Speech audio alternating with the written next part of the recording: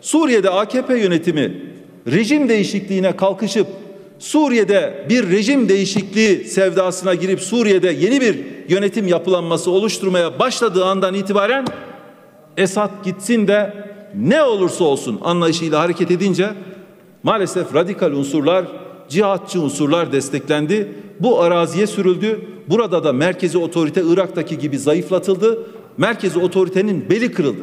Sonra bunlar bölgelere yığılmaya başladılar. Alan hakimiyeti oluştu. Önce El Nusra Rakka'yı elinde bulunduruyordu. Kendi yapılanması olan işit çıktı. Rakka'yı El Nusra'dan aldı. Bakınız bu tehdit burada da bitmedi. Bakınız olayı doğru teşhis edelim. Bu cihatçı kafa, radikal kafa, bu kökten dinci kafa devam ettiği sürece Müslüman dünyasına barış gelmeyecektir. Çünkü bunlar kan kusuyorlar.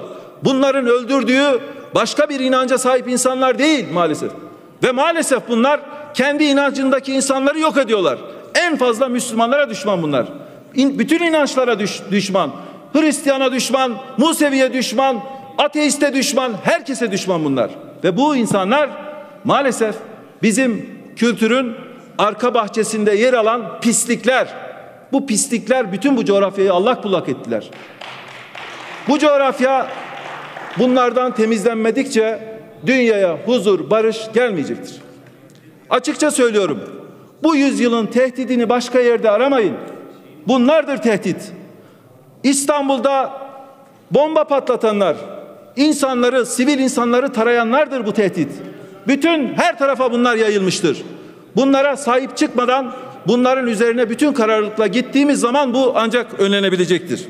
Bu tehdidi elbette bizim bir tek hükümetin sorumluluğuyla aşamayacağımızı bilmeliyiz.